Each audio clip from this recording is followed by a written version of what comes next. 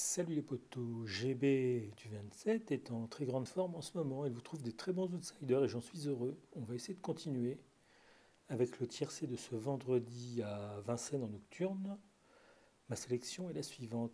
J'ai mis en tête le 13 Arius du Douai. S'il reste dans les bonnes allures, peut gagner. Ensuite le 12 Astral Virtaute.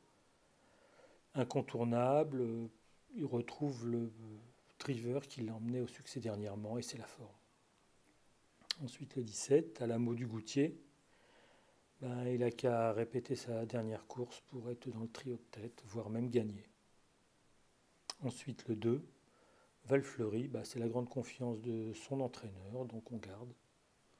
Et enfin mon outsider, le 11, Uranus Tépol, bien engagé à la limite du recul avec Raffin sur le dos, donc attention.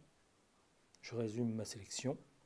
Le 13, le 12, le 17, le 2 et l'outsider, le 11. Voilà. Plus rien sinon bonne nuit et à demain pour les gains encore, je l'espère.